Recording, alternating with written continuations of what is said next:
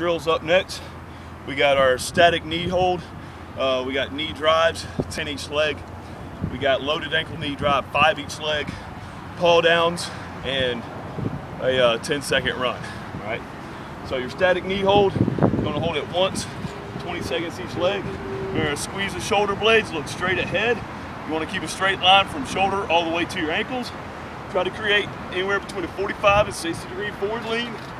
Keep the knee as high as you can, ankle almost straight below your knee, and toes pulled up to the sky.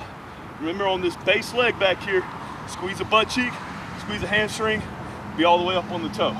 All right, so you're just holding this position for 20 seconds, then you'd switch legs, all right? Your knee drives, you got 10 each leg. You're gonna drive the knee up to your chest as hard as you can, then just let it go back. Do not pause at the top, uh, and you do not have to force it back down to the ground. So you're gonna get the same lean angle, same body posture to start off. You're gonna drive the knee to the chest, and it all look something like the top of the static knee hold. All right. Uh, loaded ankle knee drive. Got five each leg. Whatever knee you're gonna pull up, that knee starts bent.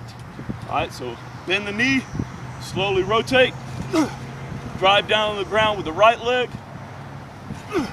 Pull hard up with the left there.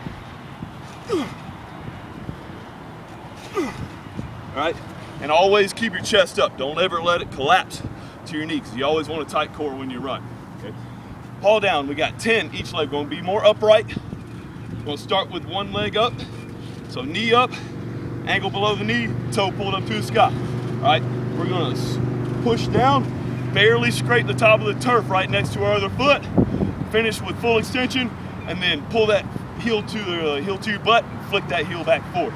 But it's all gonna go nice and fast. All right, one, two, three, four, five. All right, try to be nice and light on the turf. Don't uh, hyperextend that knee. 10 each leg on that. And the last one is your 10 second run. Get that forward lean again. Start with the leg up. You've got 10 seconds cycling the knees up and back as fast as you can go.